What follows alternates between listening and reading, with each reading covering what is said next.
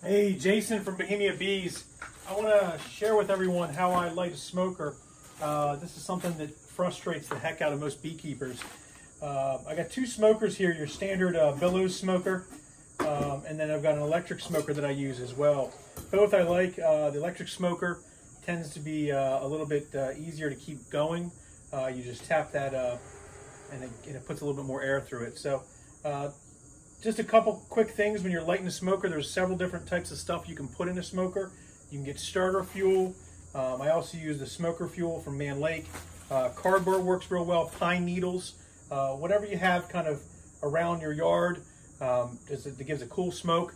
Um, we're going to go ahead and light the smoker for that uh, uh the electric smoker today, just because it's easier. One of the things I found with the smoker, the, the first thing you got to do is make sure it's clean. So if it's got any ash or in it that's going to clog it up. You want to make sure that you clean that out first um, and make sure it's clean. And then you're going to have that inner, inner, chamber. If you have one of those inner chambers, sometimes you don't. Uh, I always like that. Um, and then I usually like to try to make a, a combination so I don't waste this. This uh, smoker fuel is pretty expensive. So what I do is I take and I take cardboard and I nest that smoker fuel in that cardboard, just like that okay? And then I'm gonna wrap more cardboard around it. Almost create like a, almost like a, a, a, a log, a smoker log. Now you gotta remember it's gotta fit inside your, your smoker, so that's about the right size. There's like a little smoker log. Now when you light these, you wanna light it from the bottom up. So whether you're using smoker fuel like pine needles or grass or whatever you're choosing to use, you want to use light from the bottom up. So I'm going to get my smoker ready.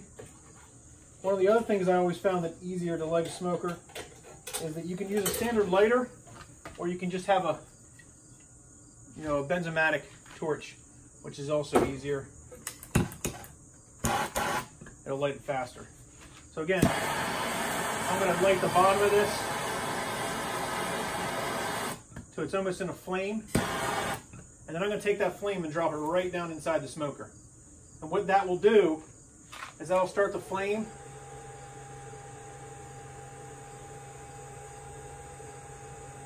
I could use a standard billow smoker as well and do the same thing, but I'd be pumping this.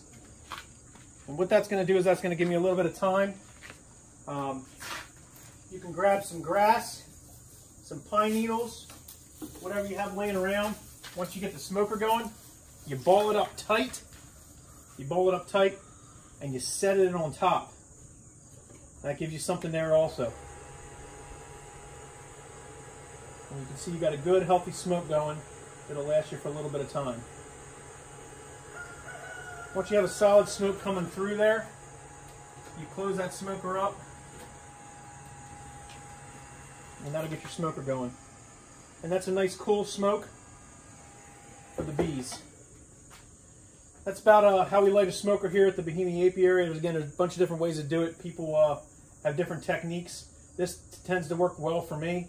It gets the smoker going fast. It's one of my biggest frustrations about beekeeping is getting a smoker going and then uh, keeping it going. So every once in a while when you're out working the bees, you want to definitely pump that bellow or hit that uh, button and, uh, and keep the smoke keep the embers burning inside so it doesn't go out on you.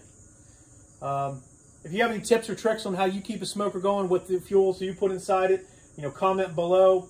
You know, definitely uh, share your uh, experiences with your, with your uh, um, challenges with the uh, the smoker. Uh, but uh, happy to hear your your insight. Thanks for watching. Make sure you subscribe to the channel, share with your friends, um, and appreciate you watching Bohemia Apiary's tips and tricks here in the beekeeping where hobby beekeeping is more than just a hobby, it's, it's actually an obsession. Thanks for watching.